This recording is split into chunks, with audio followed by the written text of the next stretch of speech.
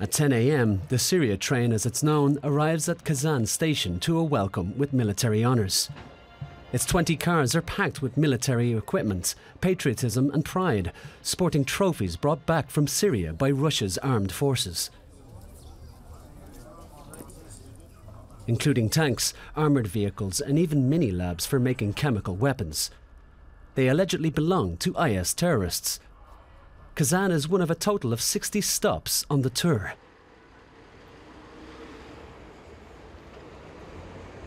The Russian people have to see this train, so they'll want to stop the misery that's sadly at home in other corners of the world, and to understand Russia's role in the battle against international terrorism. Olga Markulova understands all too well what that battle can mean. She lives in Nizhnekamsk, 170 kilometers from Kazan, alone with her daughter. Her husband, Dmitry, was killed in Syria in 2017. She sees the train from the perspective of her personal tragedy. I see nothing in this train but death. Because of the military involvement, I've lost my husband.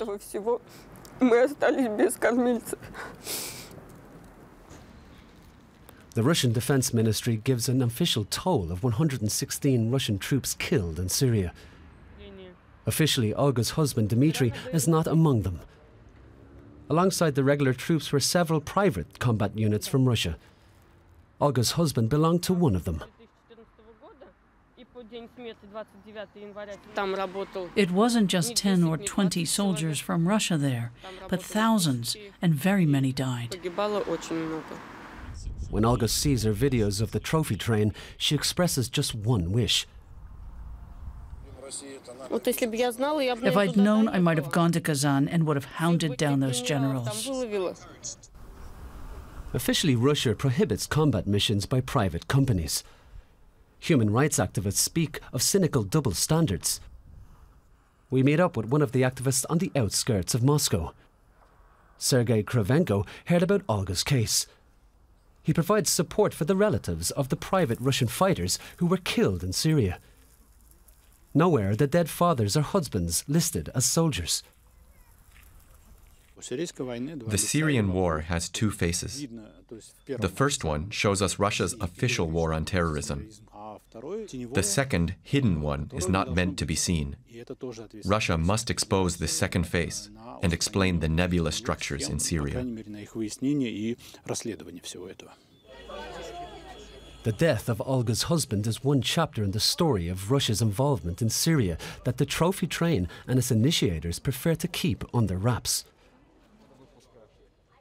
Instead, the guides talk about Russia's successes.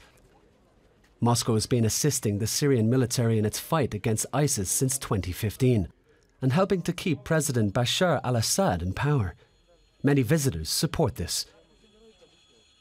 Our boys are helping the degraded Syrian people. How? Successfully, they say. What does Russia have to do with Syria? Well, it's a substantial help for the country, so it can return to. Well, what's it called? Peace? We have to show children weapons of war so they know war is bad. The families of some of the victims from private armies are fighting for some form of compensation, among them Olga Markulova and her daughter. They get nothing from the Russian state, even though Dmitry was fighting alongside regular Russian troops against the same enemy in Syria.